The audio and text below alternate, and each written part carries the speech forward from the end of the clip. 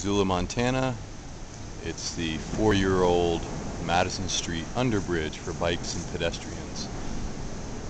State highway above, university connections to the east, and the river trail continues west.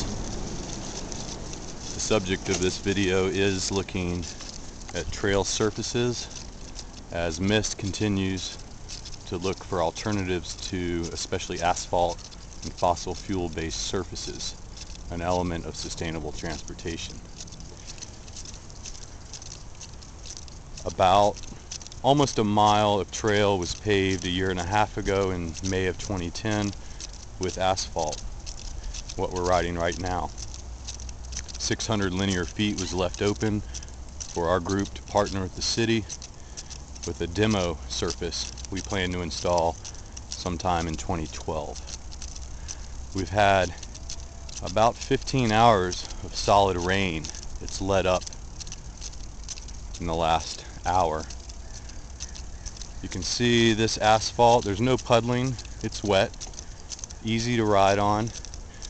It is a fossil fuel surface and there's runoff that goes into the river, especially immediately after laying the asphalt is when a lot of the toxins are running off and can harm plant life, aquatic life, human life as we track the asphalt into our homes, schools, businesses.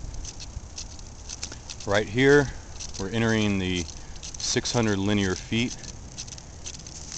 Slightly muddy, it's a packed gravel pretty easy to ride on. And this 600 feet is right next to the Clark Fork Natural Park. Excuse me, the native prairie. The natural park is further ahead.